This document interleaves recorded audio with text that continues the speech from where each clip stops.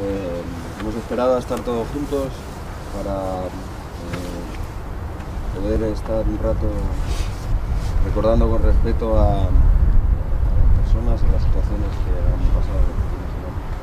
a attendu d'être tous ensemble pour euh, faire quelque chose pour le respect de, de ce qui s'est passé la semaine dernière, pour, les gens qui sont, qui sont morts. Solo por, eh, por respeto,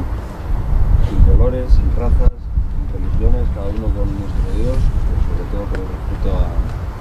la vida y a las personas, un equipo, porque trabajamos todos los días juntos y queremos que esto sea así. Sans penser ni à la couleur, ni à la race, ni à la religion que- qu'on a chacun de nous, mais seulement euh, par respect pour la vie et pour les gens qui, qui sont, qui sont restés. Durante un minuto vamos a guardar